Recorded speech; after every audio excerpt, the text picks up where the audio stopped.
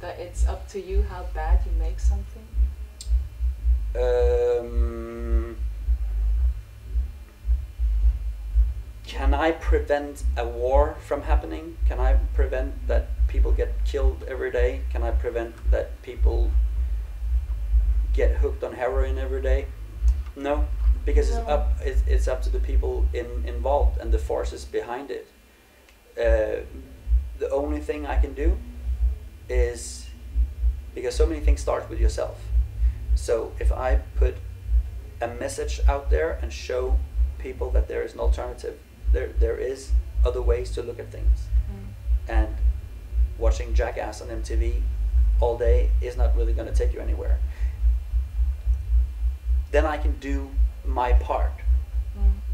you know, but that's not gonna. I mean, that, that's not gonna gonna change whatever the uh, UN or the EU or what the Obama decides. It, it's true that um, it won't change it like that, but um, at the base, it's a society. So it's a group of people, and in a group of people, you have people, a person. So I always see it like, even if you can change one person, maybe that person will change someone else. Absolutely. So the whole like butterfly effect thing there. Yeah. You keep change like ripples in the water thing. yeah. Absolutely. So Absolutely. it it kind of breaks my heart a little bit to see you so um, dark. I think dark is the, the best word that I can use to describe Yeah. it. Yeah, that, that yeah. Uh, it, it is. Um, it is dark, definitely. But I'm not. Uh, like personally, I'm a very happy and very very loving person who. Uh, I see a dark future coming, but I also see the solution. That I I know that I have a God who is in charge of all this. I'm on the safe. I'm on the safe team. I'm on the winning team. So I know the end for me is going to be good. So I'm not. I'm not afraid. Yeah. As I said, I'm from Norway. I'm not afraid of anything. No, it, I see. Whatever is going to happen is going to be bad, but there's going to be an end to all that. Mm. So I'm full of hope, and I'm full of love, and I'm looking forward to what's coming. But the way there is gonna be bad, big Yeah. time. And people have to to make up their minds what team they're on, and that that's what what the waking up thing is is is really about. Can I ask questions about that? Go ahead. Yeah. Because I don't know if I'm a religious person. I haven't made up my mind yet. Mm. Sometimes I think I am, sometimes I, I don't think I am. Um, but what made you into a Christian person? Why, why do you believe? I come from a, from a Christian family, so I was raised Christian. Um, but so I, I've always had it in me, in a way. But um, that's a not not a unique thing that happens all the time. That people grow up in a Christian family and then they just skip it or whatever, or or they get. Um, you have to make that decision yourself. Mm. and um, in, in my case it was when I I actually hit rock bottom uh, as you talked about. That's why I could relate uh, relate to what you what you said about your disease. Yeah. that when you hit rock uh, bottom and then you had to find your way out of okay how do I get out of this situation and um, I started to realize I, I, all of a sudden I I started to pray a lot and ask for you know a way out and what happened was that things really started to change drastically in, in my life Mm.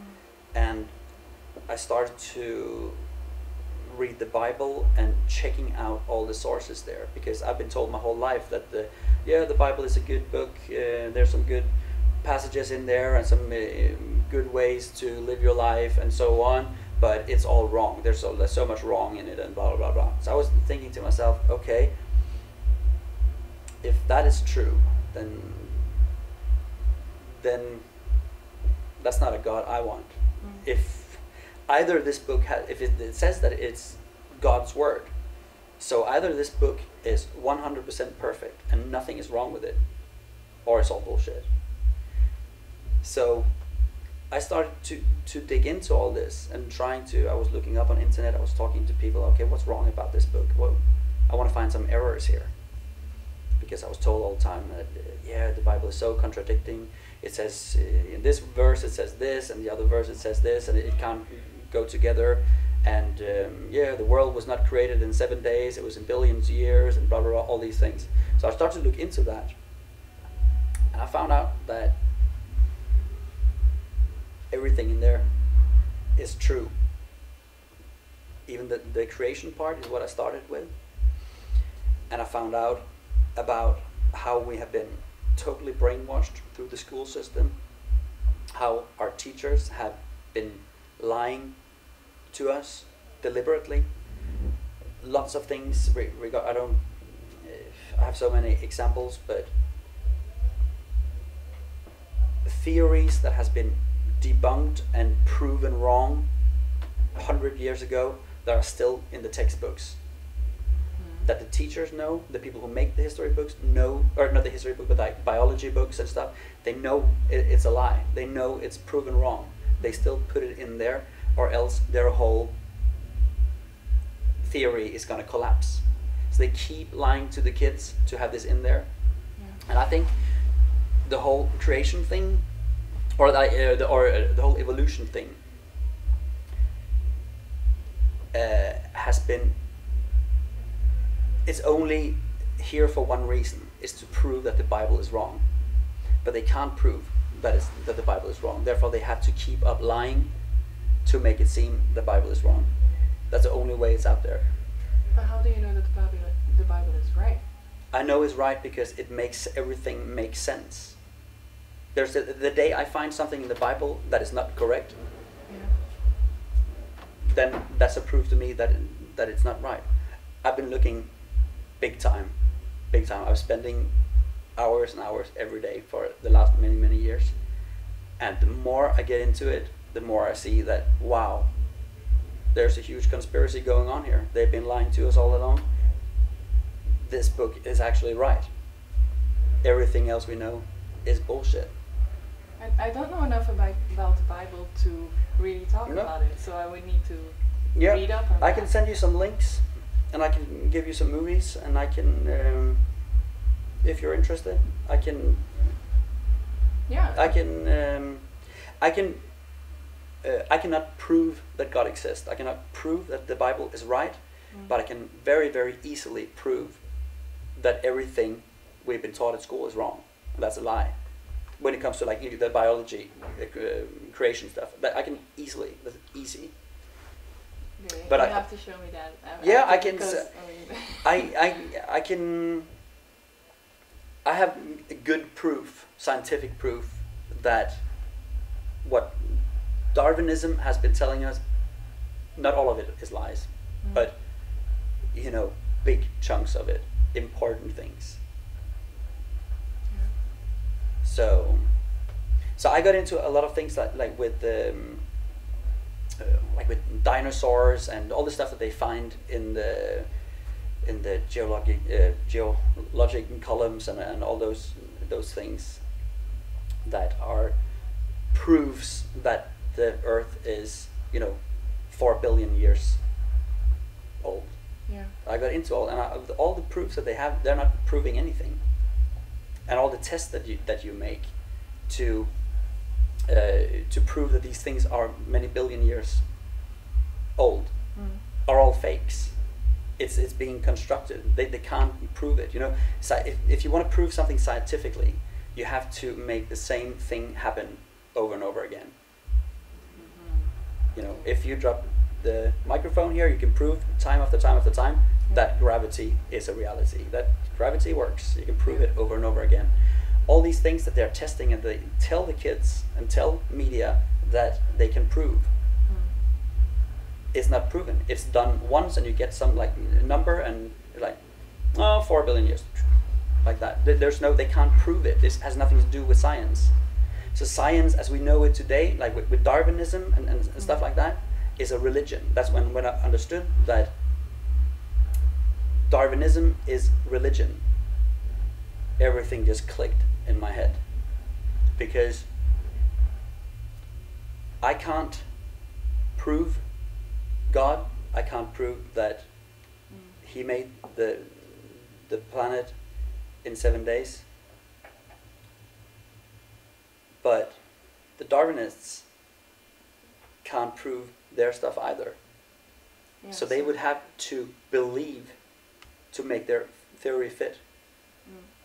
So they're telling you that they can prove it, but they can't. So both the evolution idea is a religion, and so is Christianity. But they are brainwashing the kids in school, telling them that no, no, this is science, we can prove this. But in reality, they can't. And when I understood that, I just like, oh dear. The Matrix. I always thought when I saw the Matrix movie, I was just blown away of the creativity and the imagination of these guys. I was like, how can you come up with an idea like this? It's the craziest movie ever made. Mm. And now I'm finding out that it's actually probably the most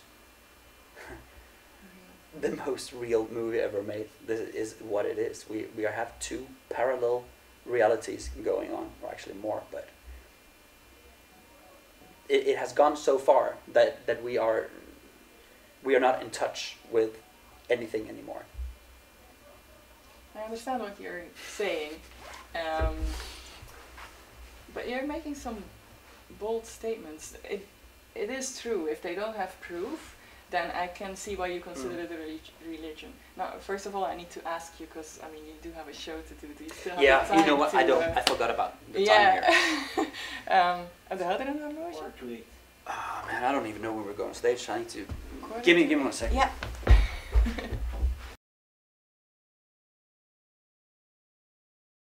We can do like one more question or something, then I have to move on. I'll, but Okay. I'll definitely, um, um, I'll hook you up with some um, with some links Yeah. and uh, some uh, web pages and some uh, books and some good DVDs. yeah. okay. And if you're if you're open-minded um, and if you have an open heart and you want to look into things and, and if you're really seeking truth, then um, if you're already predetermined that no, this is the truth and this is all lies, Mm. then you're not going anywhere. Yeah. But if you are, have an open heart, open mind, and start to look into things, searching for the truth, for real, then you're gonna see some pretty crazy stuff. Yeah. I ju- the, the last question that I want to ask you. Um, imagine that um, you find you find out now that although you believe 100% in Christianity now, but Mm. tomorrow something happens and you find out that it's a lie. Will you be able to cope with that? And will you be able to be open-minded? Yeah, I could. Yeah. The thing is that I think this is gonna happen. I think that um, that what is what has been going on with the UFO sites and aliens and all this stuff for since uh, World War II, that this is a, a plot where I think I don't know. This is just like a far out theory. Yeah. It's not my theory, but it's one of the many theories that has been going on.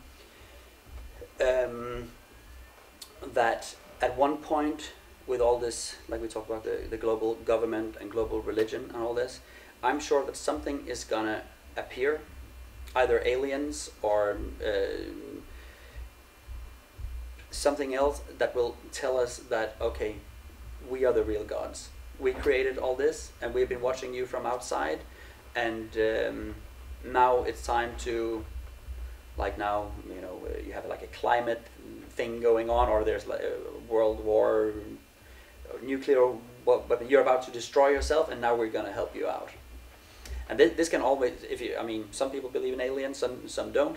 and but all this can easily be manipulated now with holograms, and they have so much technology, so they could totally have you know a few green aliens popping up next to Obama on a TV show and convince the whole world. That can totally be done, and all the all the technology that that is available now is most of what, what comes out i- is uh, has already been in the hands of, of the military and, and and the governments you know 50 years before we get it you know? So we think now with our laptops that we are so high tech and our fast cars and whatever the, the laser disc was invented you know in the late 40s and we got the CDs in I don't know 81 or something like that they had this information for 40 years before they gave it to the public Yeah. so they they have they have all this uh, science uh, and um inventions that we don't even have a clue of. And I saw that they, there I saw a few things. I can't remember what it was. It was during the Olympics. I think it was like didn't they just have like Olympics in China now? Um, yeah.